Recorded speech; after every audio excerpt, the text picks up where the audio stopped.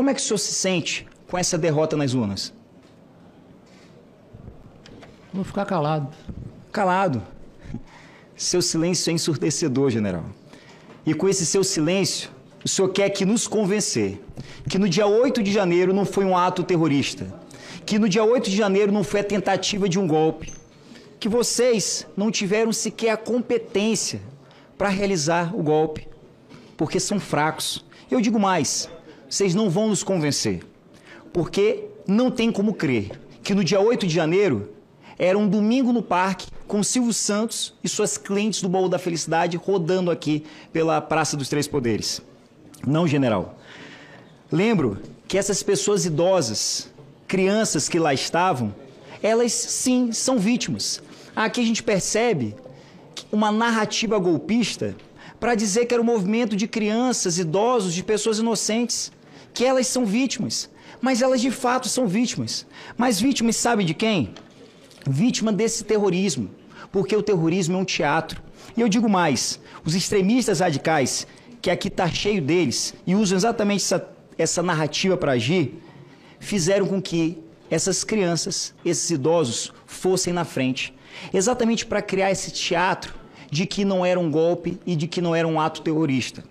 Mas eu ouso mais uma vez aqui, só que dessa vez fazendo referência ao podcast Medo e Delírio em Brasília, para concluir, para concluir que deu errado.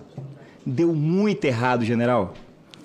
Eu peço que o general olhe para mim quando eu estiver falando, porque não tem condições de fazer. Não, estou falando com o general, não estou falando com o presidente. Peço que o general olhe para quando estiver falando, porque eu estou fazendo os questionamentos. Como eu disse, general.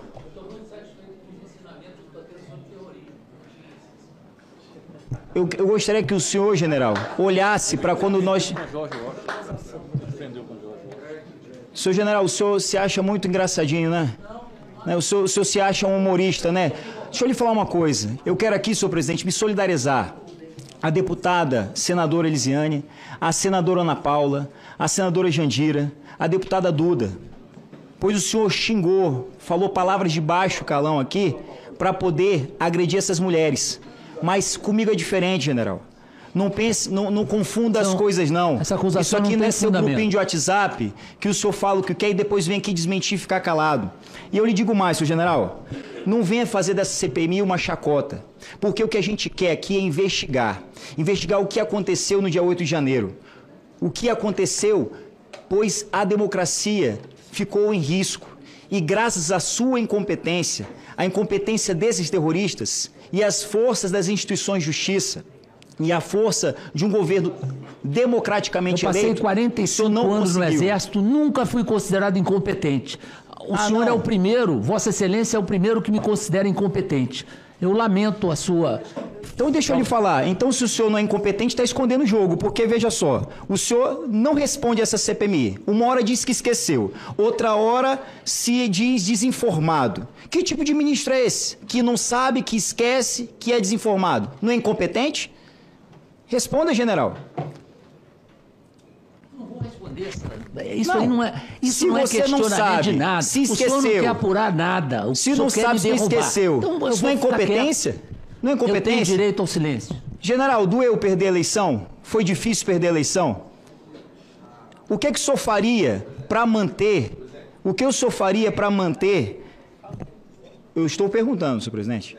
O que o senhor faria para manter? O que o senhor seria capaz de fazer para manter esse governo trágico? Para manter esse cara que o senhor, em 2018, para a jornalista Tha- Thaís Oyama, disse que era despreparado. O senhor esqueceu disso também? Da sua entrevista para a jornalista Thaís Oyama? Não lembra dessa entrevista de 2018? Que o senhor disse que o Jair Bolsonaro é despreparado? Esqueceu também? Isso não é verdade. Não é verdade? Não, claro que não. É mentira. É mentira. É mentira. O senhor está negando a entrevista que deu. Não, da- disso aí? Pois eu vou pedir para a nossa assessoria, assessoria aqui da, da CPMI, trazer essas informações para que possa, mais uma vez, contrapor o que o senhor aqui fala, pois falta com a verdade, e o senhor está aqui como testemunha e sabe que pode responder por isso. O senhor vai negar, general, que defendeu a ditadura? Diz para mim, Qual a sua opinião sobre o golpe de 64? Não foi golpe? Eu já falei sobre isso e vou ficar em silêncio. Aqui, você, aqui o senhor não falou. Não, aqui é CPMI. Aqui não é CPI do DF.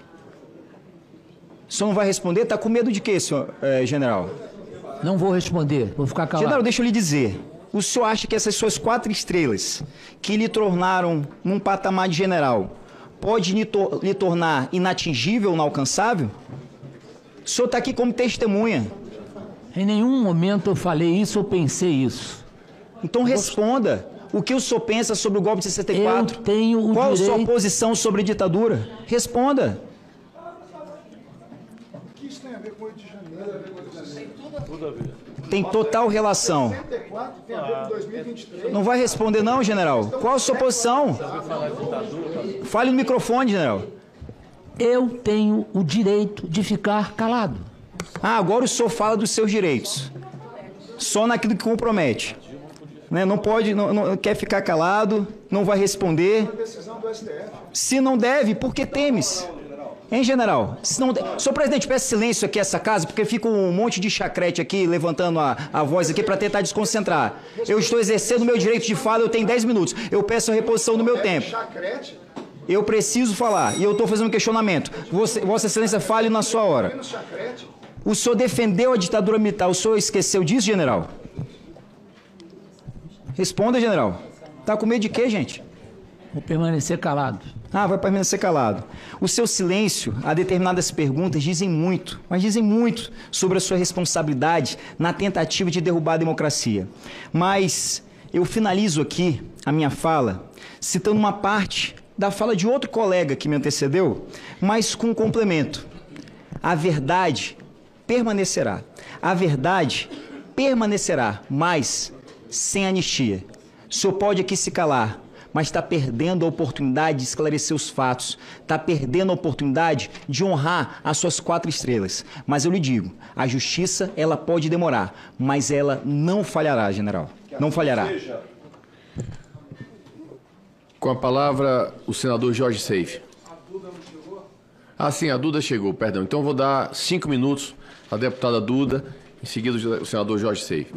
Presidente, primeiro, obrigada pela, pela postura eh, na condução da reunião de hoje. Já lhe parabenizei em outras reuniões e reitero, porque é uma tarefa árdua, porque quando se envolve um tema tão caro que é a democracia, em alguns contextos, o ânimo exalta-se e a necessidade de uma intervenção mais firme, como o senhor fez, eu agradeço.